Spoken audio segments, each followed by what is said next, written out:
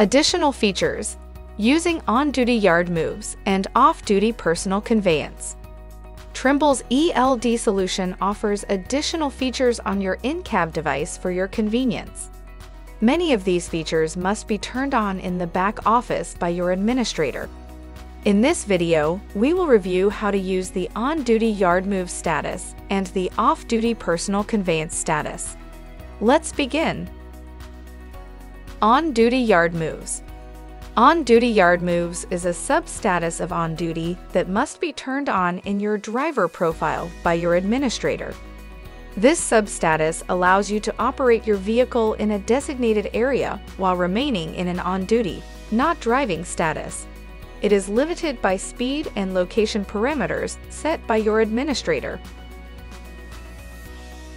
To enter the on-duty yard move status, tap Status on the Driver Overview screen. The Choose Status window opens. Tap on YM. The Add Annotation window opens. Tap the Annotation field to open the virtual keyboard. Enter a reason for choosing the on-duty yard move status. The reason must be at least four characters in length. Tap Submit to accept the status change and close the virtual keyboard. If you operate in Canada and the ELD has lost connection to the vehicle, the Change to Driver's Logs window opens. This informs you that required data elements were omitted from the status change event. Refer to your carrier for assistance. Tap Confirm to close the window.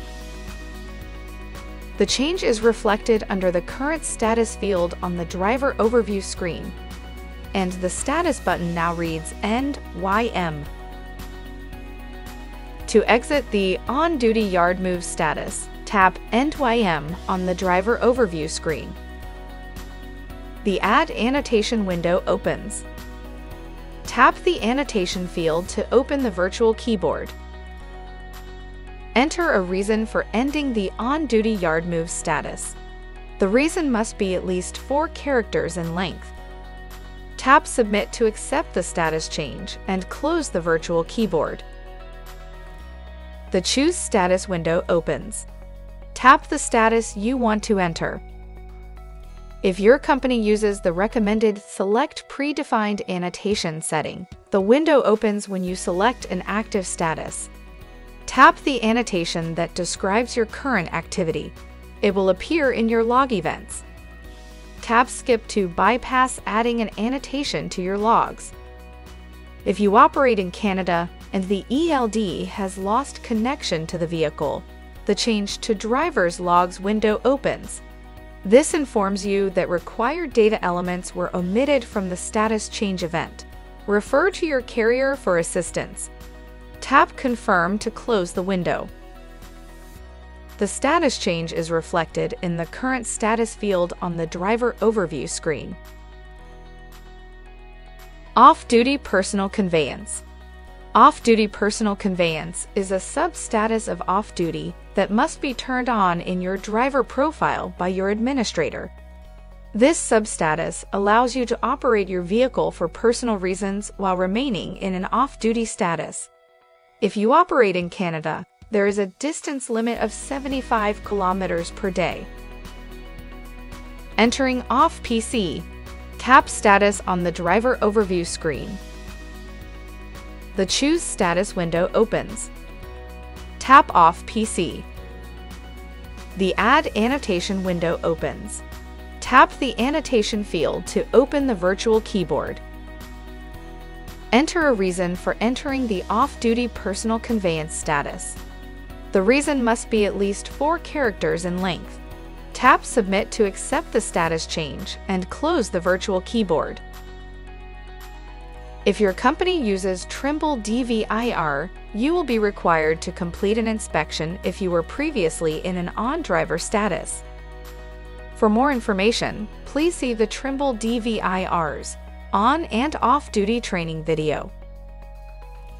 If you operate in Canada and the ELD has lost connection to the vehicle, the Change to Driver's Logs window opens.